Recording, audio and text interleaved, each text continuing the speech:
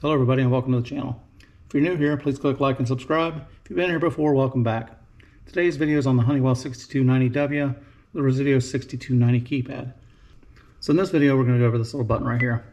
When I click on that, it comes up with training videos and introduction video. Introduction video is basically the video that comes up when you first buy the system. When You plug it in, turn it on, it comes up with that video. Don't know why you'd want to watch it again, but it's in there if you do.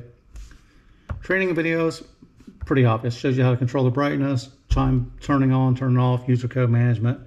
Basically goes over quick training on how to turn things on and off. So if you click on the chime button, it's going to come up, play your audio, show you which buttons to set or push to change all the things I'm showing you how to do anyhow.